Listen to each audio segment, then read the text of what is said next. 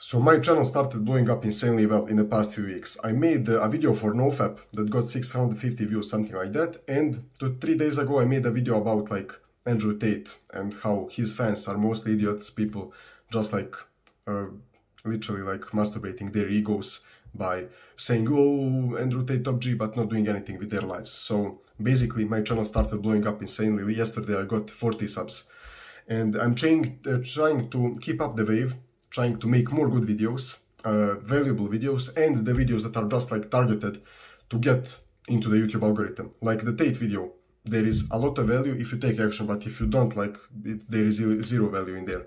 So it's mostly just like trying to get as many impressions as possible by mentioning a person who will like seem interesting to click on the video. So that's a tactic for YouTube. If you want to get a lot of views on a video, just mention a person like Andrew Tate or Hamza or something like that and uh, try to still have a valuable video because there is no point of clickbaiting people. I my video seems like a clickbait, but actually I gave really really good advice in there. So yeah, if you want to make good videos, just you can sometimes use uh, famous people's names to attract people to click. But just make sure that you provide enough value so the video isn't useless. Because if it's useless, people will dislike the video and then algorithm will stop promoting the video but my video actually got a lot of likes. Like uh, i think the ratio between likes and dislikes is like 95% is likes. So that's pretty good. Because the video is not clickbait basically. It seems like it. It seems like i'm just another dumbass who is gonna hate on someone but no i'm actually just giving great advice.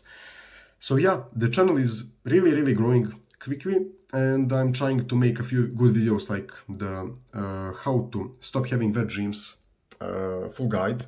Here I will check out a few videos that I'm gonna make right now. So one of the videos is the part uh, the part two of how to look older and more masculine and uh, my one year looks maxing journey so yeah those are some of the videos that i'm working on right now and i'm working on the looks maxing course so yeah guys basically the channel has been blowing up uh, i need like 650 or 700 more watch hours so that's pretty good.